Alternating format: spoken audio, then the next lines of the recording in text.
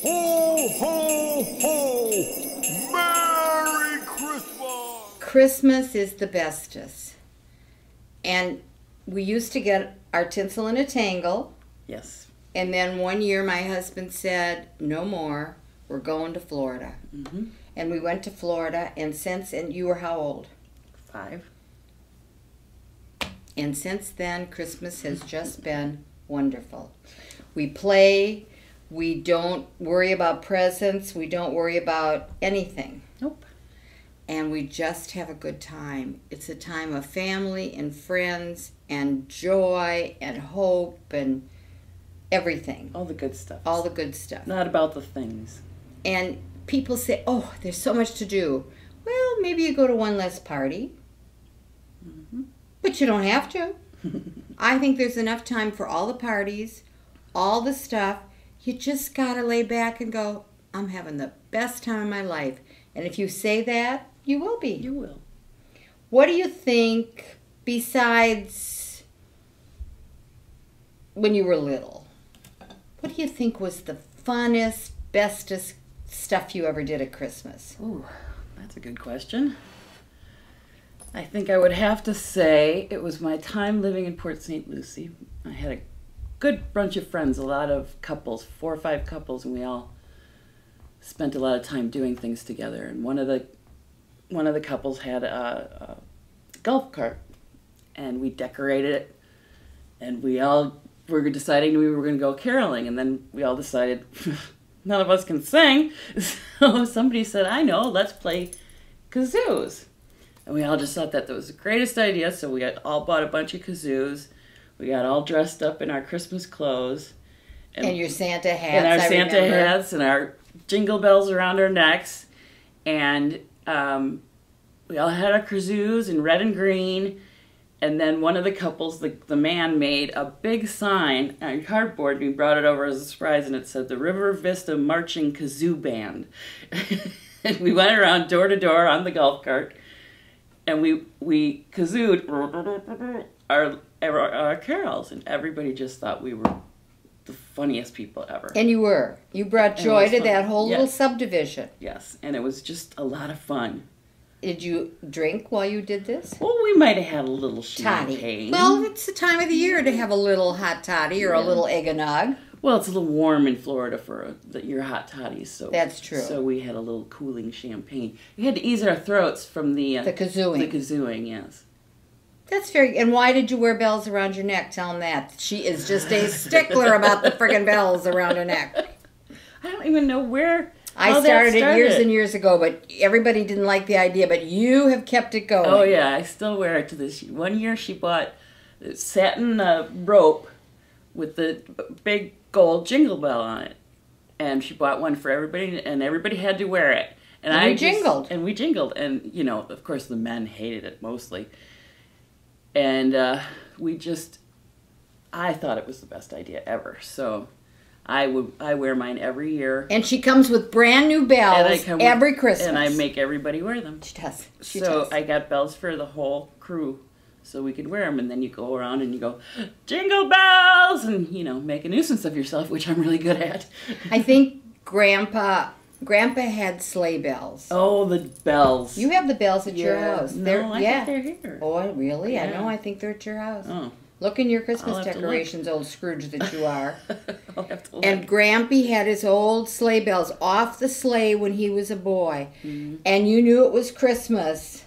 You'd put them out on the front door. And he would just jingle and jingle and jingle. But he said, you know, when you jingle your bells, angels are getting their wings. That's right. Yeah, anytime somebody would come to the door, he'd open the door, grab them off the door, and Merry Christmas! He loved, my dad loved Christmas. My mother was a bah humbugger. oh, she was. And my daughter and son, as they've gotten a little older, got a little humbug, bah humbug in them. No, we just think our mother gets carried away, so we let her do it all.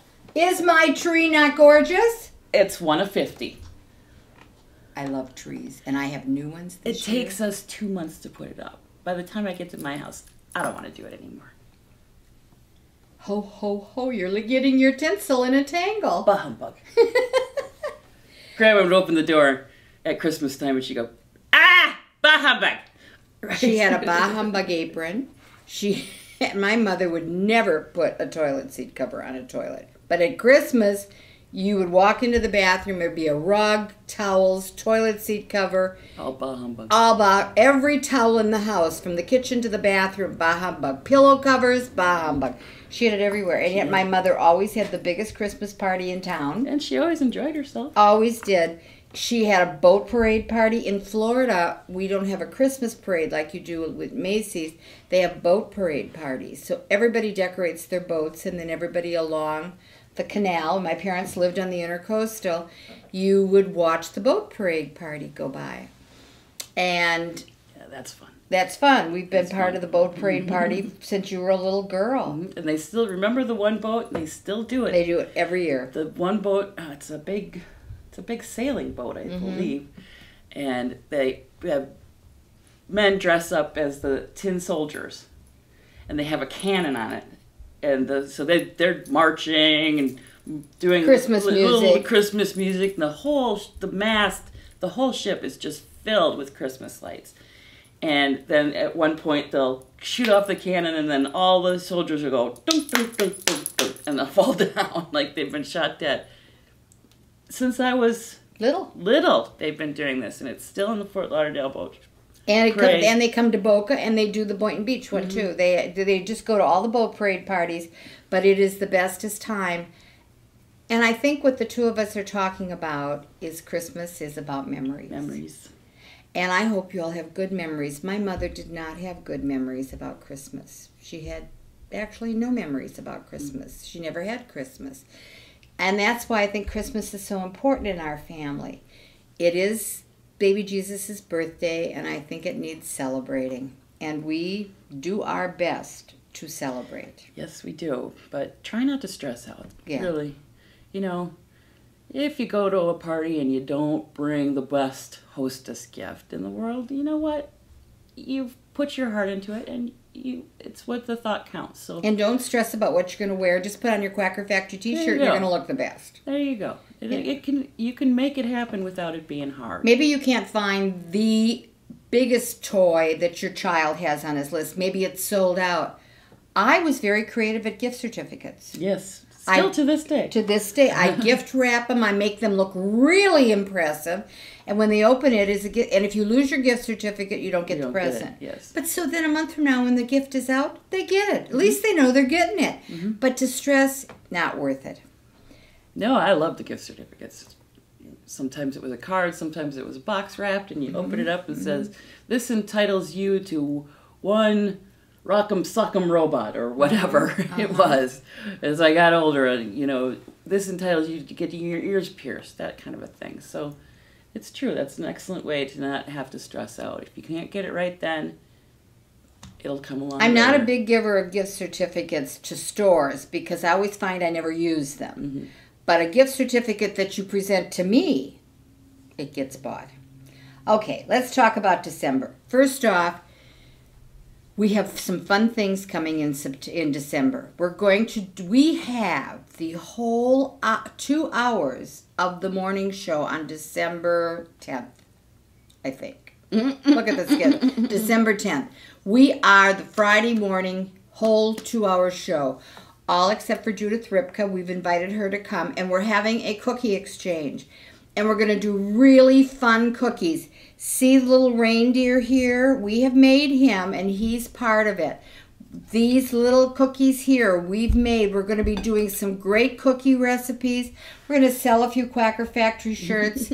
We're just going to have fun. We're also going to be on on the 3rd of December. Those are our only two times for December. And then we're not on till the end of January. Mm-hmm. So it's a long So, time. So I'm getting- tune in. I'm getting a vacation. Ho, ho, ho. Yay! Yes. But just December, watch for us on QVC. It's fun. I hope you see my shirt. I'm wearing the mm-hmm. Today Special Value, and I have all the stockings hung by the fireplace. And I'm going to tell you guys, I was doing my best Carol Merrill. you did. The Today Special Value was very successful for us, but they always buy more than you really sell, even mm. when they say sold out. I can't tell you how many of you have gone to the website and bought more after you received the ones you have. thank you, thank you, thank you from the bottom of my heart. It's very exciting to Yeah. see that you liked what you got and you went and bought more. Thank you. I think Lee and I would like to say thank you. You have made our year very special. We couldn't ask for better friends than all the quackers that we have out there. It's true. Absolutely true. And we wouldn't be sitting in front of a Christmas tree without you. We'd be sitting under a bridge with a twig. but I'd have it decorated. Yes, you would. Yes, you. Tin cans and yeah. But you've made our life very special. And thank you all Thank you. very much. And Merry Christmas. Merry and I hope Santa comes down your chimney with lots of gift certificates. Go check out the uh, cruise website. Oh! Oh, I forgot to tell you. This is why you make the big bucks. See? David said that if you want to go on the cruise and you can't quite figure it out, ask for it for Christmas. Hop on Santa's lap and say you want the cruise for Christmas. And if your husband or your boyfriend or your kids do that for you, he will send you a package for them to send them a package to put under the Christmas tree. So there's something to open So up. you'll have something to open on Christmas Day. I thought that was a great suggestion. I think that's a really fun idea. right. Yep. Now can I say goodbye? Well, d- do we know what the website is? Because I can never remember it. quackercruise.com. Go Thank check you, it Paige. out. Paige is, is we have a prompter, Prompter. over here. so anyway. Go check that out because I We're think going it's- on the Oasis, the of, the Oasis of the sea Sea. a year from now. And Lee and Barbara are going next week to Next check week. it out. Yes. They're going to have everything scoped out for us. We're gonna find all the fun spots on the ship for you. So It is seven days of fun filled quacking. quack quack. Anything else I forgot? No, I think we're I got to make notes. We're, I think we're good. But if you look over my shoulder, I just got a Christmas present today. I opened it up, and it's from Susan that I talk about all the time. And Susan is wishing all of us a joyful Christmas.